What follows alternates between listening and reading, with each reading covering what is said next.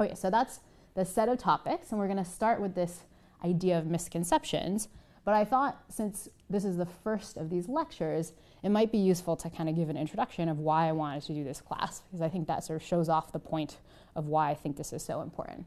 Like, why teach this class now? Um, some of you know I teach a class here on campus that's a class on evolutionary psychology. I think some of you even took that class. Um, and I didn't need to start teaching a new psychology class. In fact, it's a lot of work to come up with this stuff. I'm still working on the lectures, it takes a lot of time. Um, but I decided to do this for a couple reasons, and I decided to do it now for a couple reasons. Um, the first, and there's going to be three reasons why I decided to do this. Um, the first of those three reasons is that this is the time that is ripe for thinking about applying the science of psychology, in part because we are learning a ton about how to apply like these kind of concepts about how we can make ourselves happier. We actually have lots of insights into the kinds of things that make us happier, that make us laugh, that make our lives more fulfilling. And we know this in part because not only are scientists coming up with good ways to study this stuff, good ways to measure this stuff, but folks that really think about applying science to public policy, to practice, are using this stuff a ton. So these are a couple of different articles about different programs in government, both in the UK and here in the States, to apply the science of psychology to kind of nudge people's behavior in the right directions, nudge people to save more, nudge people to eat healthier, and so on.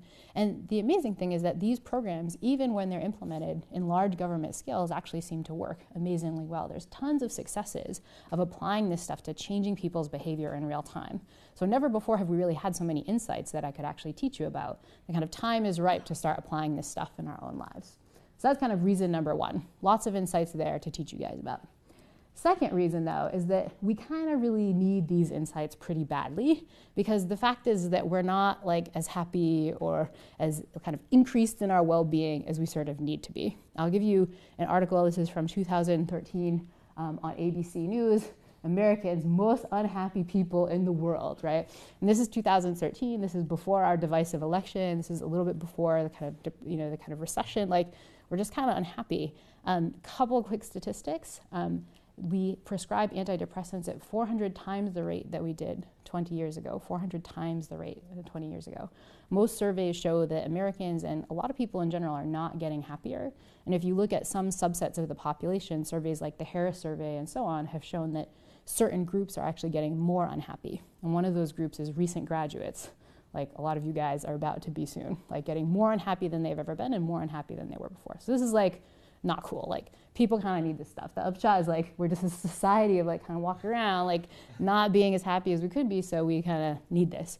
Um, but I think one of the reasons I chose to teach this here, and then I'm talking to you guys and not only doing an online course, is the we is a kind of broad we, it's like society at large. But I think the we here on campus is like even more needy that like you Yale students need this stuff. And so that was reason number two I decided to teach this course now is that you guys, you guys broadly as a society and you guys as Yale students really need this stuff. Um, but the third reason is actually the most personal one of why I wanted to teach this, which is that it's not just Yale students that need these insights. I actually need these insights too. You guys already saw my authentic happiness survey. I didn't realize when I put that screenshot up that it had my score, but it did. Like I'm only like halfway, and I'm in fact only about 40% up above people my age in the population. So I'm kind of like below average on my own happiness. So you might have the thought that like the professor teaching this course is like this like you know smiley happy, and I go through life you know and around all these Yale students who are sad. I'm like oh, I'm gonna make you guys as happy as I am. But in fact, that is not true. If anything, it's like, you know, I'm sad but sometimes like,